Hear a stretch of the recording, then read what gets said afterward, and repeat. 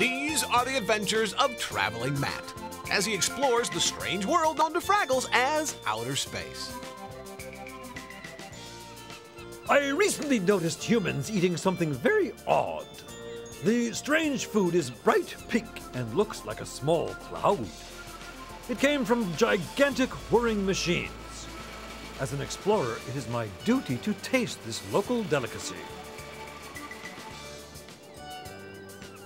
Aha! Hmm.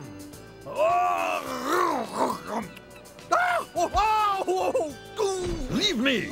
The effects of eating it are more uplifting than collecting radishes.